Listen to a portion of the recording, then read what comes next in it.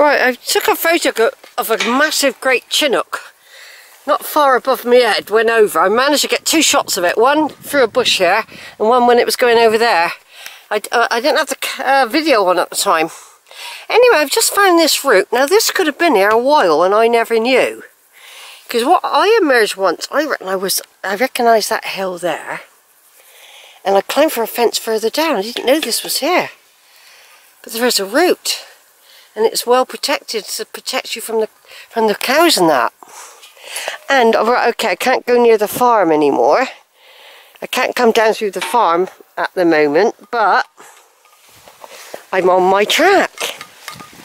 Now I do know there is another way to Priddy that way, but I don't want to do it. This is my track, everyone. So we've come from there. It stinks of drains and foul smells. We've come through that gate then, we come right across the fields. We've now discovered another way here. Um, so I know before I used to have to get over a fence.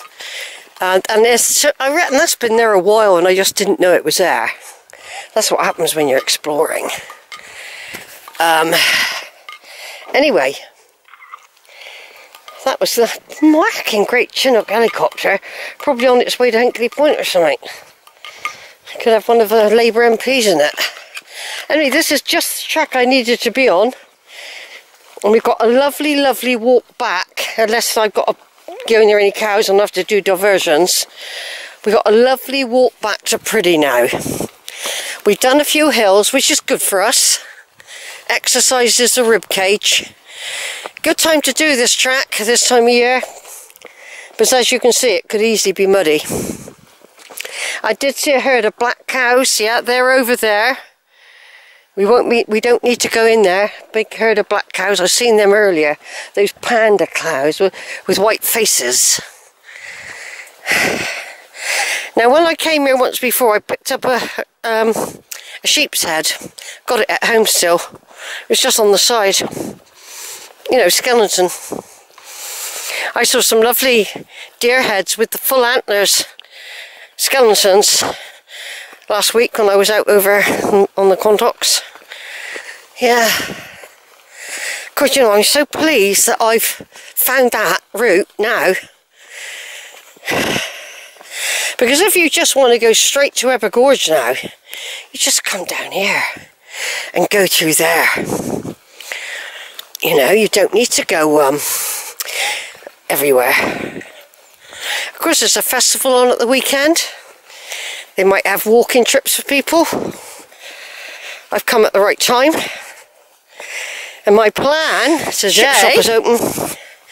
I'm going to get San Floyd sausage and pie, chips and a can of Coke. Do you know, I've been thinking of that when I couldn't... When I lost Alberta, one of our treat, my treats, after being out a big day hiking, that's what I wish you to enjoy to think of that. I used to think, oh, I really miss those days. We have saveloy sausage and chips.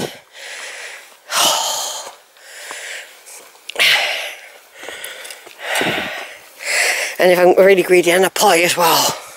They always give you too many chips. I have to ask for small. Vinegar on. Oh, I can't wait. Bet there'll be something today. That'd be my treat. I wish Zara was into walking. Why is that? Because she's grieving badly.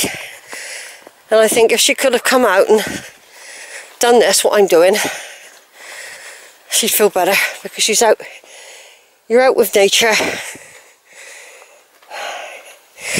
And it helps. It's a healer. I, I find it's a healer.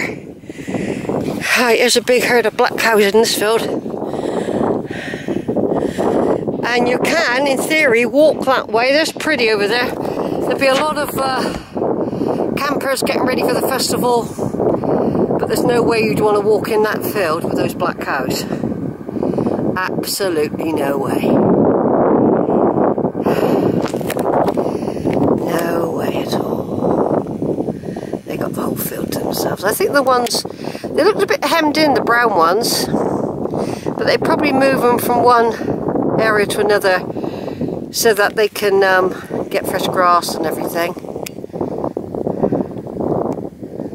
Yeah. No, I wouldn't get in there. But there is a way across those fields, by the way. I'm not doing it today, I know it, because you have to do a bit of road walking into Priddy. I'm doing the more scenic route, which is further up, going across that way.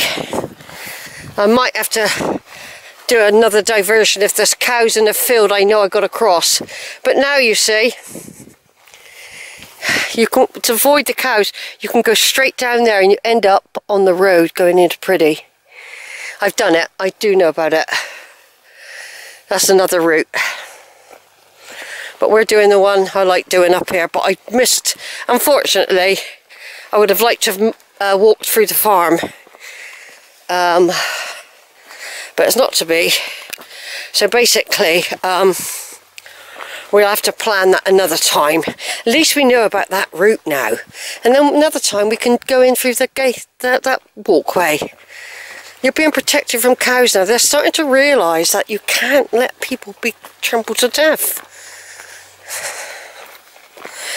But everything's wild at the moment. I mean, this is quite good, this track. And I, do you know what, what I love about walking along these sort of places? Is that people have been walking here for centuries on these droves. It connects you with your ancestors, even though there probably aren't any DNA ancestors of mine here, but you don't know. But uh, I it's just something linking with the past, especially in this high-tech society we live in. You know, with everything, lots of different buttons you've got to press, uh, things like that. Oh God, this is lovely. Do you know what, I can't think of a better thing than walking like this. That's what I said, I wish Sarah liked walking. I know Georgia does, but she's removed herself too far away. She's just come out on the spur of the moment.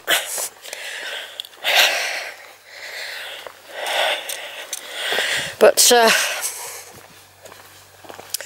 no, I just think, oh, look, I am to be able to walk like this still. I'm 72 and a half. And I try to keep doing it because you waste. As you get to my age, you waste very quickly. Um, muscles waste. I mean, I know my arms, they've put on a little bit of weight actually, not quite as scrawny since uh, I uh, broke my arm, my my wrist, was, you know. But uh, look at that field, they're almost perfect, look. And there's lovely trees, we'll be walking the other side of those. But I just love this track. I am just so pleased that I got here.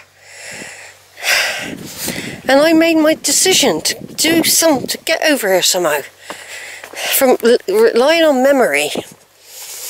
And I met that young man who said, yeah, you'll be near the field soon.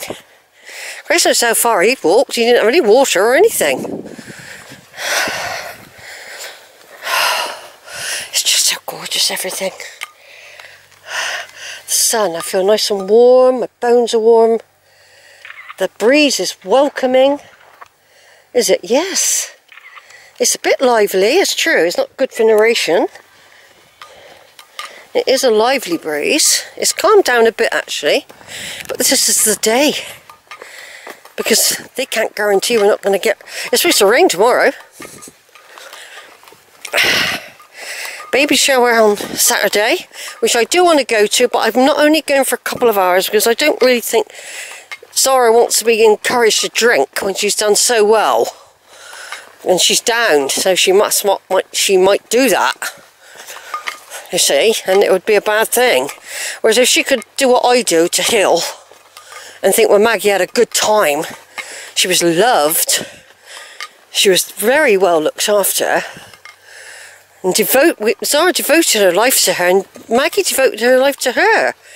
And then they had Scatty me coming in and out. And I love Maggie. I thought she was a beautiful little dog. I'm going to miss her. I feel sad. When I started thinking about her, and how she was, she got to know me and Zora, like Bran did. It took Maggie a while to tune in the same. But she did do it, and she loved us. And she looked, as like Zara said, she didn't quite know what was happening to her. And she, she looked spaced out a bit, you know, obviously with her kidneys packing in and not getting the fluids she couldn't eat. It suddenly got her, whatever it was, it took her. Um, I would say she went downhill in about a week and a half from being like Maggie running about still. She was slow, you know, she was old. I miss her, I miss her already. If I think about it too much, I'll get upset, see? Uh, I know I gotta let it out. But I find like coming out here today and seeing nature and knowing that we had Maggie, it's like Brandy. I mean, I still get upset when I think of Brandy. I still get upset. She was a friend. They are friends. Proper friends.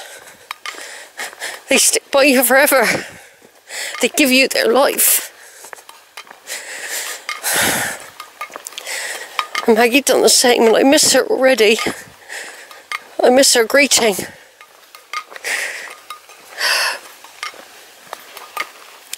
But it's worse for Zara because she shared the flat with her 24 7. But I haven't, I've, I've been concentrating on the walk all day. But I knew I, I'm going to have to reflect on Maggie and Zara needed to be left alone. I can understand that because I am a bit of a chatterbox. Um, Zara's a quite, we are very different people. Um, I'd love her to have come out and, but I'd be doing all the talking, see. I think what she'll do, she's going to grieve a bit. She, she'll, she, I think she said to me she'd have to have another dog. She'd have to have another dog. Don't think she could survive without one. But it's sad when they go wrong. When Maggie was 17 last week, she had loads of toys.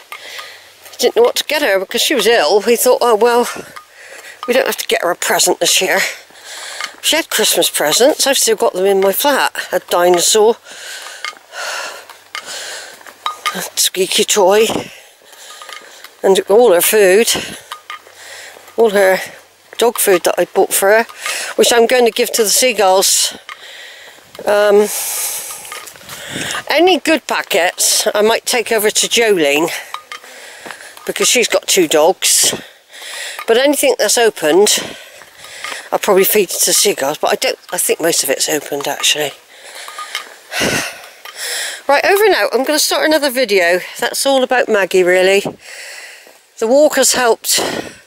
It's a beautiful day. We had a lovely, lovely time with Maggie. It's terrible when they go. It really is bad. I hate it. I love that dog. Hurts. It hurts. I've got to leave Zara alone